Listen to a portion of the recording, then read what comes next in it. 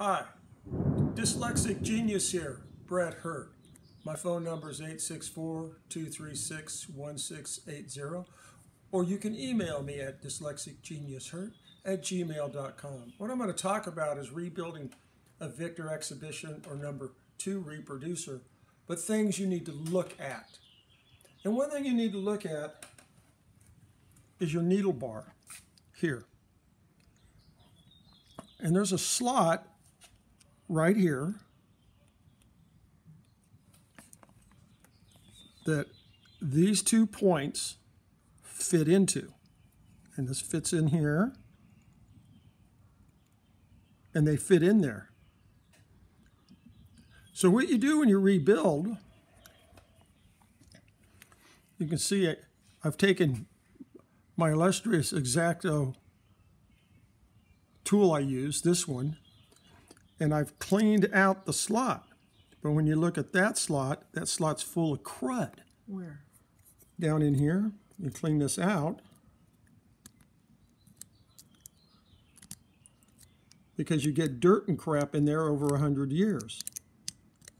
The other thing is when you have your reproducer apart, you can see this one here. And you see this nipple that comes up? That's where the needle bar fits. But you see how the sharp point is right there? That's where it fits into the needle bar. And you have to make sure that those aren't rounded off. This one was kind of rounded off, so I'm taking my diamond file or any jeweler's file and I'll refile those down to a point so they fit in to the needle bar slot. And one other thing I want to show you.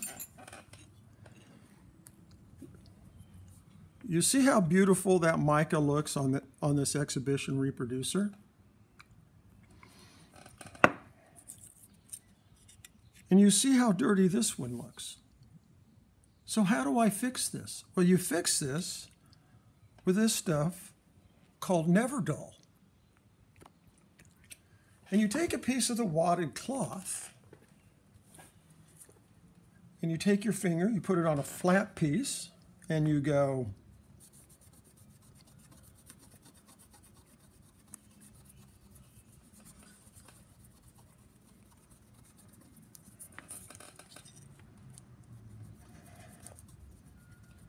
because you got to realize this mica has 100 years of crud on it and we have to get it off.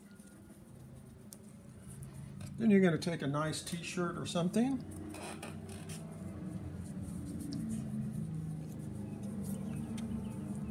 And that sound you hear is my illustrious neighbor with his Stellan Mustang. Now look at it. Oh, it looks brand new. Looks brand new. I will go back and I'll clean these edges off. And this helps take weight off the reproduce off the mica because we got a whole bunch of hundred year old dirt, sweat, spit, whatever happened to this poor old exhibition reproducer. And these are things to look at. And once you're done rebuilding, let's say this Victor 2, and you go, how do I know it sounds good? Well, I'll hold this up to the camera and you rub your finger on the needle screw here, right here, where you tighten the screw up and listen. Wow, you hear that? That's how you can tell it has a nice sharp tone to it and it will play well.